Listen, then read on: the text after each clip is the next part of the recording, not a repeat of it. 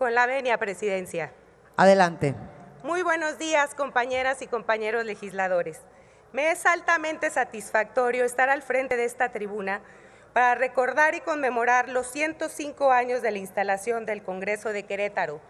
Un orgullo como queretana y congresista entender la magnitud de las propuestas que formarían parte de la nueva Carta Magna bajo la cual gobernar el nuevo orden político nacional, en defensa de las ideas y demandas de la sociedad mexicana, lo que permitió poner en marcha un proyecto diferente de nación.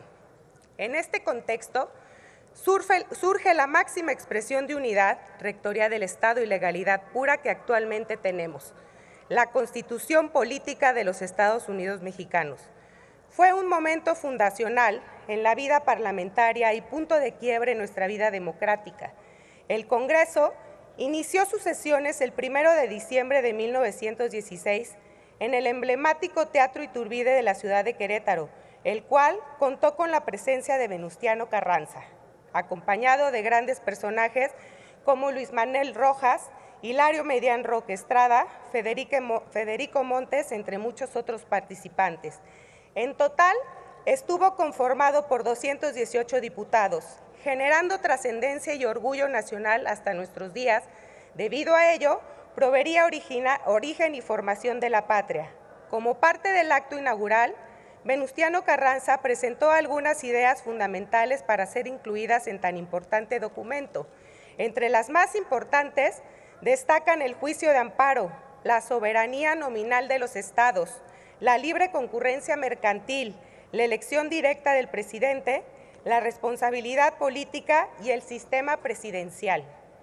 El principal objetivo del Congreso fue la reforma real de la Constitución de 1857 de su formidable trabajo resultaría una nueva constitución en la cual se plasmarían de forma enfática los anhelos expresados por aquellos que participaron en los levantamientos armados, mediante la disposición de muchos matices sociales, la cual posteriormente se promulgaría el 5 de febrero de 1917. Es momento de valorar nuestro pasado, la textura y forma que tienen nuestras instituciones presentes, las cuales son capaces de crear un país democrático y funcional. El Congreso Constituyente de 1916 está lleno de hechos y personajes históricos. No hay otra forma de decirlo. Solo a partir de todas sus letras somos el producto de grandes pensadores humanos, conocedores y representantes de la nación mexicana manifestar un firme propósito de restablecer el orden constitucional en áreas de construir una nación valerosa e invencible, fue relámpago y una luz en la historia de nuestra nación.